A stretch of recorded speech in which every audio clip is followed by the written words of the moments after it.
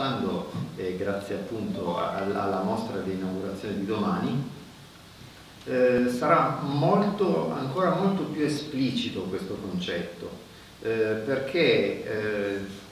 ci sarà veramente la disgregazione, in qualche modo la destrutturazione, quindi distruzione totale del libro, ma tramite ciò ci sarà proprio, come dire, in qualche modo la, la totale e più assoluta e sincera celebrazione del concetto stesso di libro. Up to you. Dunque, visto che il tempo a disposizione non è tantissimo, vorrei chiedervi qualcosa su una vostra recente esperienza che forse può chiudere il cerchio anche di questo nostro breve incontro, e cioè la vostra partecipazione alla Biennale di Venezia. E mi sembra che anche questo evento sia um, a suo modo simbolico, nel senso il suono di Machetti Senelian che penetra all'interno dell'apparato istituzionale del, dell'arte, quindi eh, della Biennale. E soprattutto della laguna, esatto. diciamo che, che, che, che emette che queste, che permea la laguna emettendo so queste emanazioni Per voi è stato importante, molto gratificante poter aprire per, con tre giorni di performance il padiglione francese. E quindi da voi magari vorrei... Guarda, come hai detto tu, ho apprezzato il fatto che tu abbia notato il fatto che eh, ma i Kitties and sono entrati in un contesto totalmente istituzionale come, come la Biennale e,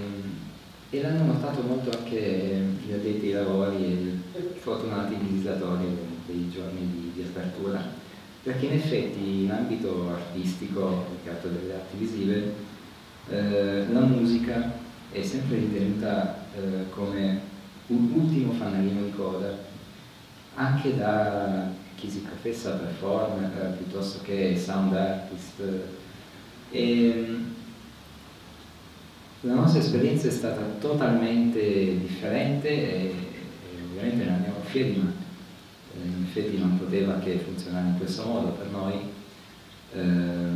anche perché eh, aiutati dal co-curatore del progetto che stava per il francese di Xavier eh, Christian Martley, ci è stata data carta bianca per agire eh, proprio sull'intera struttura architettonica del padiglione e, e fare assolutamente eh, tutto ciò che volevamo con qualunque strumento eh, volessimo, eh, potendo registrare eh, tutto il giorno ore e ore di registrazione e più che altro la cosa che sin dall'inizio eh, ci ha veramente entusiasmati eh, il, fatto di, ehm, il fatto che noi fossimo, avessimo la possibilità di essere veramente sommersi da valanghe di, di pubblico, da, valanghe di gente che eh, entrava nel padiglione, usciva e veniva stordita da, da, dai nostri suoni, eh, usciva stordita ma usciva felice e andava a complimentarsi con, con Xavier Vedano, giustamente Dopodiché anche lui era anche molto lui felice. Era molto felice lui. Era così. E in effetti eh, poi la riprova è stata quando venivamo fermati eh, in qualunque parte di Venezia ci trovassimo anche di sera, cioè fuori dai eh, luoghi comuni della, della, di questa manifestazione artistica, eh, venissimo fermati da, da gente qualunque o anche da curatori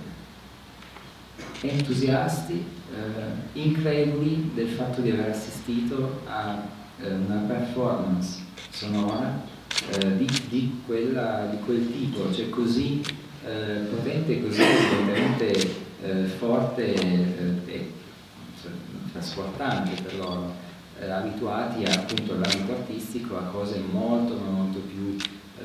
concettuali, molto più ehm, anche se in realtà era totalmente concettuale. No? Sì, la nostra era molto concettuale, ma ovviamente eh, le nostre radici eh, del punk non, potremo mai nascondere, ci scorre mai bene e andiamo fieri, quindi anche nelle politiche concettuali eh, la parete ruvida ci sarà sempre. E quindi questo ha fatto la differenza per molti, eh, la Biennale. E per noi è stato, è stato molto gratificante, abbiamo intravisto un bagliore di speranza laddove eh, onestamente dobbiamo ammettere eh, ultimi anni ci hanno un po' scoraggiati di poterne vedere eh, interesse eh, da, in, certi, in, certi, contesti eh, verso un, un, tipo di musica soprattutto eh, che poi fosse performativa o meno comunque musica così radicale così libera da qualunque tipo di, di schema.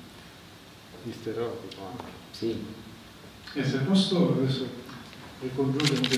mi avete fatto venire in mente una cosa rievocando quei giorni delle, della Biennale, eh, ma anche i giorni in cui noi stavamo completando questo volume, sì. perché questo è un aspetto che ancora non è noto, ma possiamo rivelare.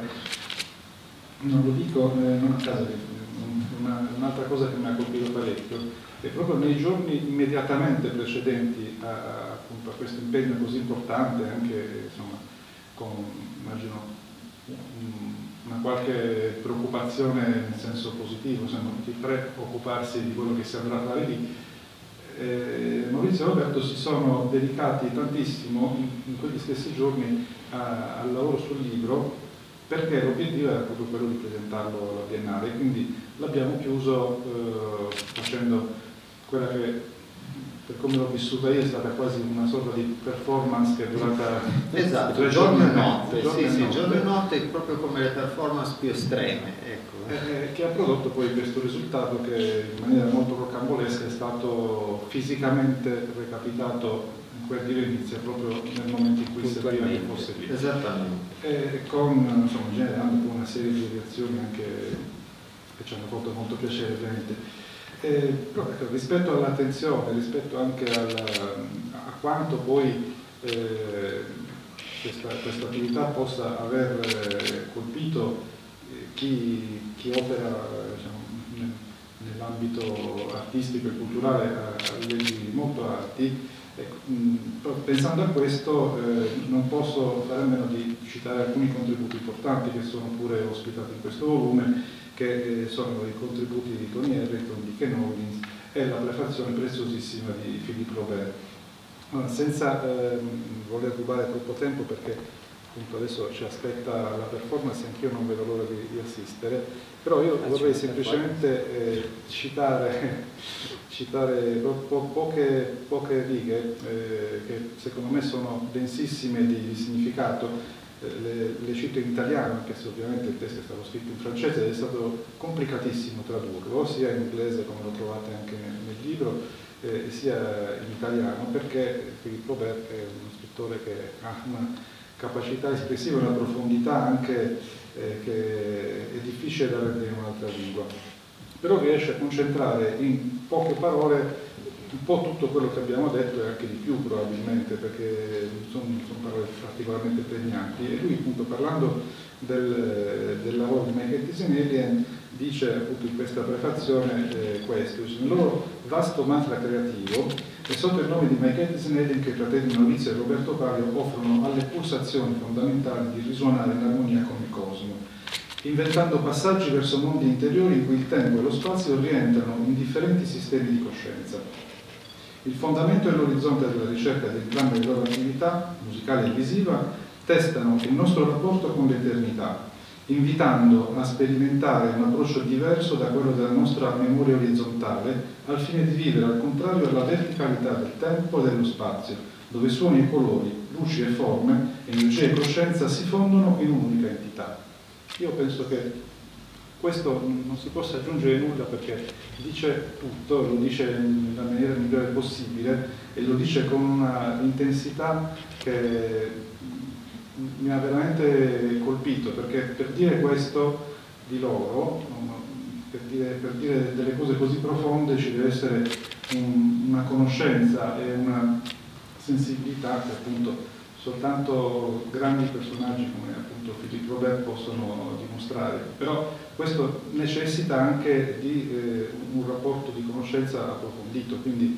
insomma, sappiamo che, anzi vorrei che su questo magari ci, ci, dicessero Roberto e Maurizio anche come sono nati questi contributi, come, come è stato possibile che poi personaggi di questo calibro eh, si, si, prestassero a contribuire a questo lavoro eh, e lo facessero anche molto volentieri, con, con, uno spirito di partecipazione e di coinvolgimento assoluto. Ecco, questo perché eh, credo che completi un po' il quadro anche rispetto a, a quelli che abbiamo chiamato gli interlocutori di Michele Zeneglie o comunque le persone con cui si è riusciti a instaurare un rapporto di, di, di scambio in qualche modo. Quindi ecco, vi, vi, chiederei appunto di spiegare un po' a tutti anche come, come sono nate queste,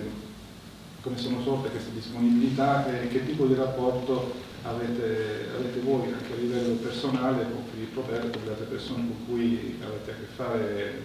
nei vari ambiti delle vostre attività. Ma eh, nello specifico con, con Filippo Ver, ma in realtà eh, si può fare davvero quasi un discorso collettivo. Eh, giusto? Eh, se, è tutto nato eh, in maniera estremamente casuale, eh, proprio intendendo una casualità proprio alla John Cage. ovviamente sotto la benedizione di San Ra altrimenti tutto ciò non sarebbe stato possibile. E in realtà il nostro incontro con Philippe Robert è proprio nato in maniera totalmente spontanea come eh, nascono spontanee alla fine tutte le nostre eh, interazioni eh, con appunto eh, vari personaggi